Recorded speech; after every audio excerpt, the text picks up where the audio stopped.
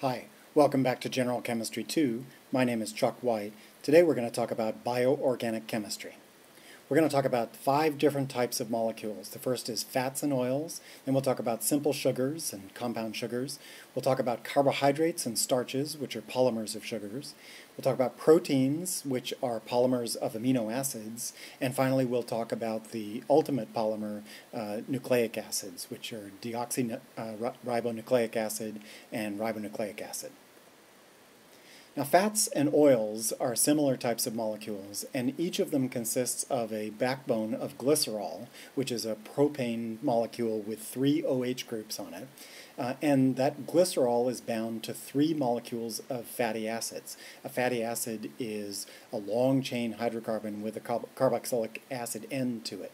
And each of these bonds between the fatty acid and, and the glycerol is achieved by uh, binding an OH group to the acid group and eliminating water, a water molecule to make an ester bond.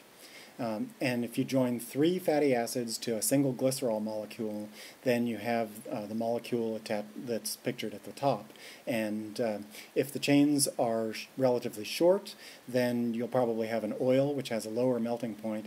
And if they're long uh, or particularly well fit together, then uh, you'll have a fat, which is a solid. And the only difference between a fat and an oil is the, the melting point. Now, um, you've heard of saturated fats and unsaturated fats. Um, saturated fats are just long, long chain fatty acids uh, which have no carbon-carbon double bonds, and unsaturated fats have one or more uh, carbon-carbon uh, double bonds. And so uh, I've pictured here oleic acid. In its trans form, it forms a nearly straight uh, hydrocarbon chain, even though there's, there's a carbon-carbon double bond in it. Um, but if you have a cis configuration, then the uh, carbon hydrocarbon chain is going to have a kink to it. And um, so uh, the unsaturated fats really come in different flavors and give different shapes to the molecule, which uh, affects its melting point, among other things. Uh, now, the conjugated bases, conjug the conjugate bases of fatty acids, that is to say the sodium salts of um, fatty acids, are used as soaps. And because these are long chain hydrocarbon molecules with a COO minus group bound, roughly speaking, to a sodium cation. And uh, so when you dissolve these soap molecules in water, what you end up with is one end of the molecule which is ionic and interacts very favorably with water, and another uh, end of the molecule which is hydrophobic or um, water repelling. And uh, that end of the molecule interacts favorably with greases, oils, and basically dirt. And so what happens in the action of soap is that uh, many soap molecules will interact with a dirt molecule, and the greasy ends, the hydrocarbon ends of the soap molecules, will wrap themselves around the, the uh, particle of soil or, or grease or dirt. And the sodium ends, the charged or polar ends of the molecule, will uh, interact with water. And therefore, it will solubilize this uh, dirt particle and create an emulsion where uh, water can now wash the dirt away and, and that's how the uh, action of soap works. Detergent works in a similar way, except it's a synthetic molecule with one end which is hydrophobic and the other which is polar or hydrophilic. Now sugars, uh, simple sugars, uh, are either monosaccharides, monosaccharides or disaccharides. Glucose and fructose are simple sugars, uh, not monosaccharides, which consist of uh, five or six membered rings with one of the members of the ring being an oxygen atom, and then various uh, hydroxyl or um, methoxy uh, groups hung off the, the chain. sucrose is a disaccharide which is made uh, from glucose and fructose, one molecule each, and they're bound together in a glycosidic bond which is formed by eliminating a water molecule from two uh, OH groups. And glucose, uh, the monosaccharide, is the primary source of energy for living cells. Now, starch and cellulose are both uh, polymers of glucose. And you can see that starch uh, here is formed by long chains of glucose molecules, where the bond between glucose molecules is one where one of the carbon-oxygen bonds is axial to um, the uh, uh, carbon ring, and uh, the other bond is equatorial to, to the uh, uh, six-membered ring. Uh, in cellulose, you have a similar situation where you have polymers of glucose molecules, but both carbon-oxygen bonds in the linkage are equatorial to the ring. So slightly different geometry to the link. But that, um, it makes an important difference because uh, animals have the enzymes in their bodies that are required to break down starch into glucose and use uh, that as a source of energy, whereas um, uh, uh, we do not have the enzymes to break down cellulose. So cellulose is an indigestible material. Cows actually uh, utilize the energy of cellulose, but only because they contain bacteria in their stomach which have the enzymes to break down cellulose into uh, glucose, and then uh, the cow can actually process the glucose that it gets uh, for energy.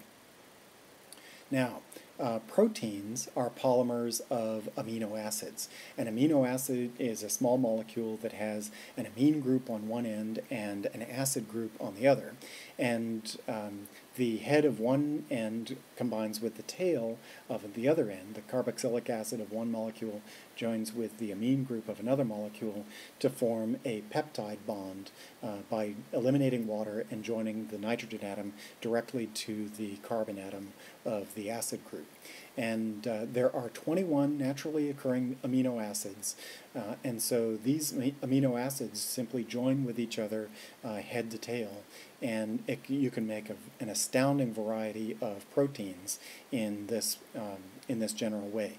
Uh, to this day, we have no idea all of the different proteins that are important in the human body, but most of the ones we know about are used as enzymes for muscle tissue, for um, structural tissue, uh, for proton pumps and ion pumps of various uh, uh, sizes and, and, shapes and functions.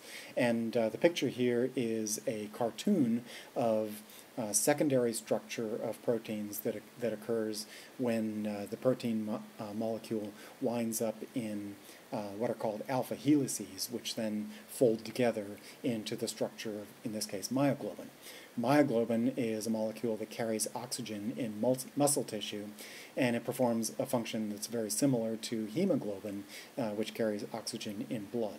Myoglobin has 153 amino acids which are uh, bound together, together in a linear chain with all sorts of different uh, substituents in these 21 naturally occurring amino acids.